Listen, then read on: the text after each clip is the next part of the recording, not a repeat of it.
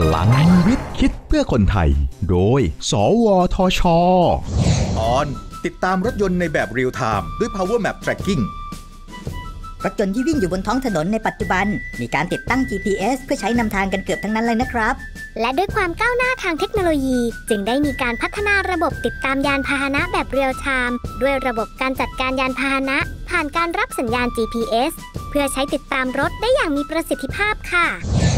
ตามที่กรมการขนส่งทางบก ได้กำหนดให้รถโดยสารสาธารณะทุกประเภท และรถบรรทุกขนาดใหญ่ที่จดทะเบียนใหม่ ตั้งแต่วันที่ 25 มกราคม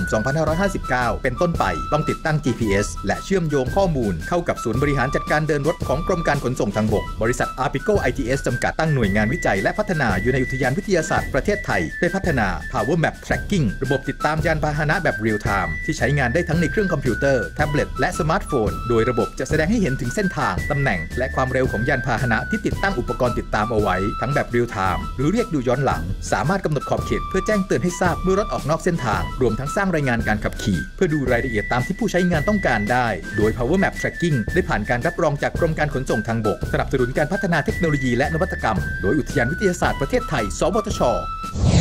พัฒนาคนด้วยวิทยาศาสตร์ พัฒนาชาติด้วยเทคโนโลยี สอบถามรายละเอียดเพิ่มเติมได้ที่ สวทช